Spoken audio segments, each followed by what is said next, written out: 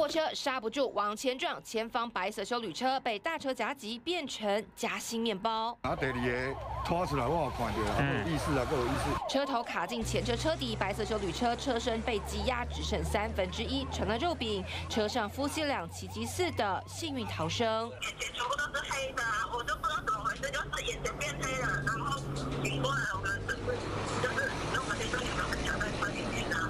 开车连环撞，疑似前方刹直车驾驶未注意前方车况，刹车不及往前追撞，一共造成六人受伤。而惊险车祸还有南投草屯深色轿车转弯自撞路灯灯杆，就这么不偏不倚，九十度侧翻，完美站立。有看到头吗？